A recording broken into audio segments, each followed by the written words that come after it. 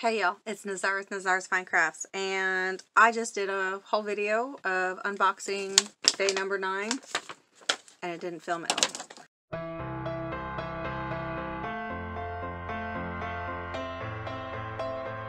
So, this is what I got.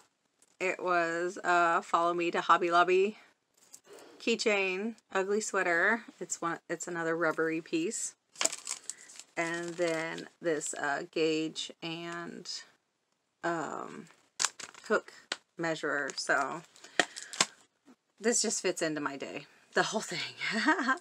the uh, embroidery machine that my husband bought me, I'm trying to use it. The arm seems really, really loose already, and it's just not working for me so it's kind of making me mad. uh, and I'm only using the settings that are on it. I'm not even using any a computer hooked up to it or anything, but it's just uh, really aggravating me. So I'm thinking about taking it back. I don't know yet.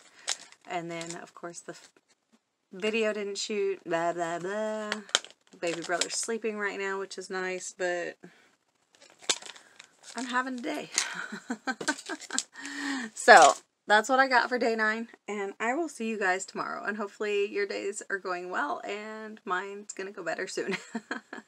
Bye, y'all.